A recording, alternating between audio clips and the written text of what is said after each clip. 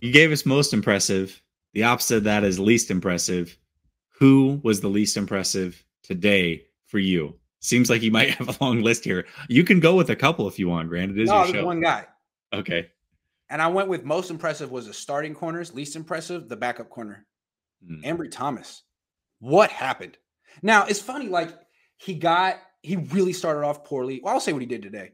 He got smoked by Aiyuk twice, and then he gave up like a 50 yard touchdown. You, it was either a 50 yard catch or you know a 50 yard catch and run for a touchdown to Malik Turner. And what's crazy is like Ambry Thomas had him. He's in perfect position, perfect coverage, stride for stride. He just jumped too early. You know, can you picture that? Yeah. Oh yeah. Absolutely. Times it, yes. it. Yeah. And then Malik Turner jumps and catches it. It's like, and that's my issue with Ambry. Every like when he was getting roasted last year, and then he would make some strides and do better. People would be like, "Well, he's in perfect position. He's right there." Yeah, but that's only part of the job. The other part is how are you at the catch point? And to me, that's what separates first round picks from third round picks. There's a lot of good athletes who can run with with wide receivers, but can you also do something with the ball at the catch point? And if he could, he would have been a first round pick running a 4 3 at 6 1 like that. But I don't think he can. He couldn't much last year. He had that pick week 18 on that underthrown ball from Matthew Stafford. But today, he just got whooped by Malik Turner. And it's disappointing. And it's like, you can't. You can't depend on a corner who gives up big plays like that. And it's a good thing they got Charvarius Ward because they don't even test that guy. Yeah, absolutely. I think Charvarius Ward is is obviously a great addition, but you know, when you talk about a, a, player like an Ambry Thomas going up against a guy like Turner, Turner's been in the league for a while, right?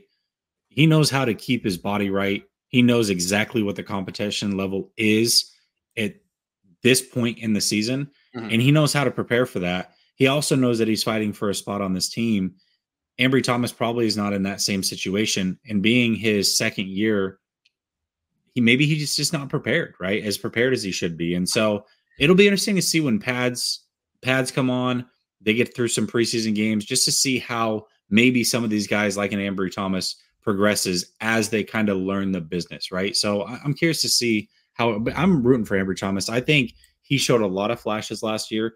To me, the improvement that he showed game by game, and I felt like people were picking out a play here and there where he got roasted by some really, really good players but overall, if you watch every single snap, he looked pretty good in a lot of those games. So I, I hope he turns it around. I really do.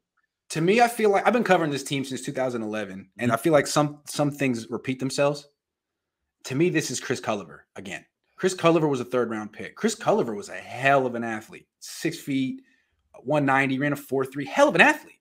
And he he could really play press man coverage and mirror really good receivers around the you know down the field. It's just when the ball got there.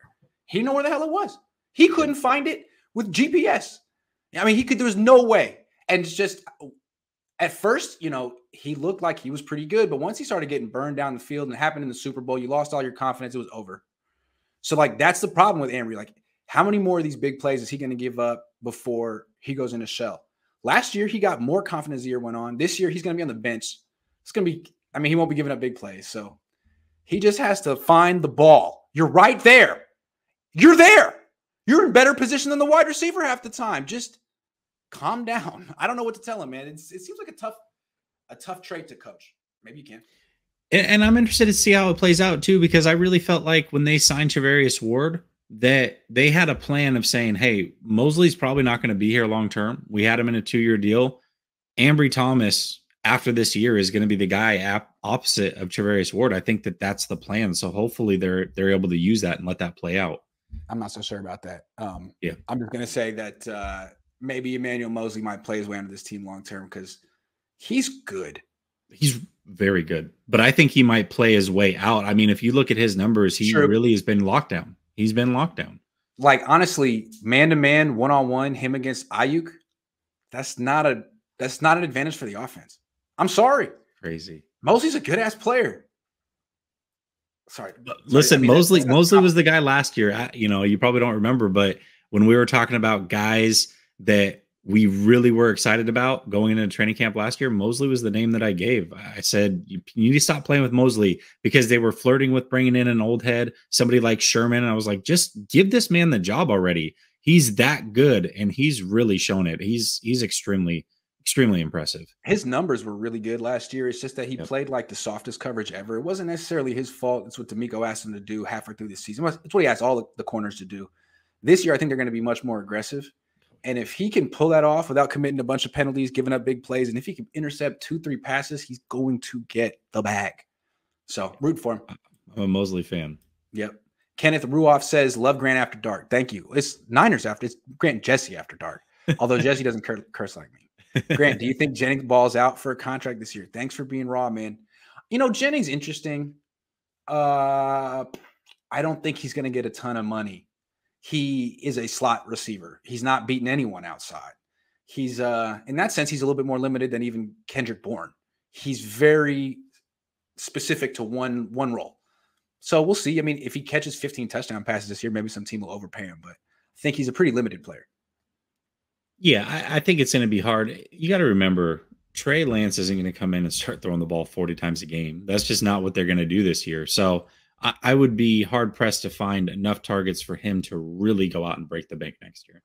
Michael Mock says, "Sorry if I'm super out of touch on this, but on the topics of cornerbacks, is Verrett back? Uh, back in the sense that he's on the roster, but he hasn't started practicing yet. I don't know if he'll ever practice again. We'll see. Um, so far, my internet's doing pretty good. Knock on wood. yeah, you so just far. jinxed it. That's oh good. Look, you got blurry already.